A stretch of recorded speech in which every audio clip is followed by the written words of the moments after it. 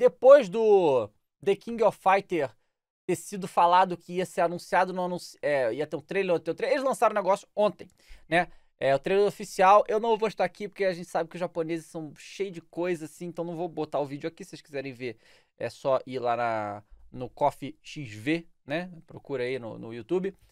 E é um trailer que eu achei, eu achei bem parecido com o estilo de Street Fighter, né? Street Fighter 4 5.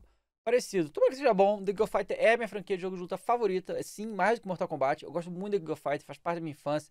É, e eu, eu gosto muito. Acho que é um, um, jogo de luta simples e complexo ao mesmo tempo. Que tem muita profundidade. Adoro The King of Fighter.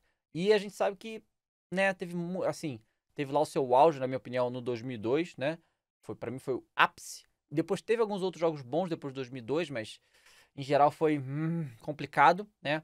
E agora tá aqui, ó. A ação explosiva e efeitos vistosos servirão para te apresentar um gameplay que é descrito como o característico grande ritmo e ao mesmo tempo adicionamos elementos para tornar mais entusiasmante, diz o produtor. Agora somos capazes de fazer coisas no som e visuais que eram impossíveis ao desenvolver o 14. Por isso demoramos mais tempo para assegurar que cada elemento é refinado. De momento, estamos focados em melhorar funcionalidades e otimizar o jogo. Apesar de esperar obstáculos, estamos planejando lançá-lo esse ano. Vamos ver se vai ser lançado mesmo.